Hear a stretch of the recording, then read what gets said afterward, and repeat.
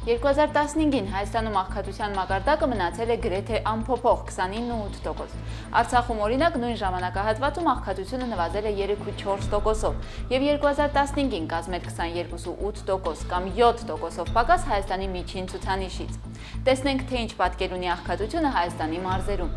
Շիրակի մարզում աղքատության ամենաբարձր մակարդակն է։ Այստեղ 100 բնակչից 45-ն աղքատ է։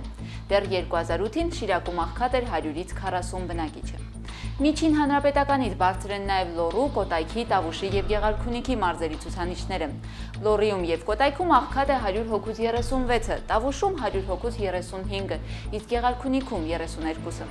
2008-ից 2015 թվականներին ավելի արագ տեմպերով աղքատության աճ գրանցվել է Տավուշում 1.5 անգամ, իսկ Երևանում, Արմավիրում եւ Սյունիքում 1.2 անգամ։ Եթե Արցախը լիներ Հայաստանի մարզ, ապա այն աղքատության 22.8% ցուցանիշով կլիներ երրորդ ամենակիչ աղքատ աղքատը Արագածոտնից եւ Վայոց ձորից հետո։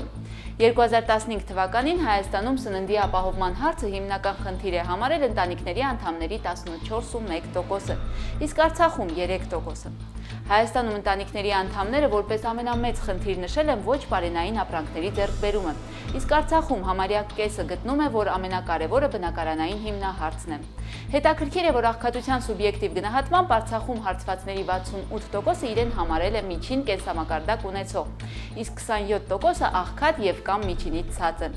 Հայաստանում իր կենսամակարդակը միջին է համարել հարցվածների 36%-ը, իսկ 59%-ը իրեն համարել է միջինից ցածր եւ կամ աղքատ։ Ինչպես Արցախում, այնպես էլ Հայաստանում մինչև 6 տարեկան 3 եւ ավելի երեխաներ ունեցող ընտանիքներն ունեն աղքատության 2 անգամ ավելի բարձր ռիսկ հանրապետական միջին մակարդակի համեմատ։ Ինչպես Արցախում, այնպես էլ Հայաստանում մինչև 5 եւ 15-ից 17 տարեկանների շրջանում աղքատության մակարդակն ավելի բարձր է այլ տարիքային խմբերի համեմատ։ Իդեպ երեխաների աղքատությունն ամենաբարձրը նույնպես Շիրակում է։ Այստեղ աղքատ է 100 երեխայից 56-ը։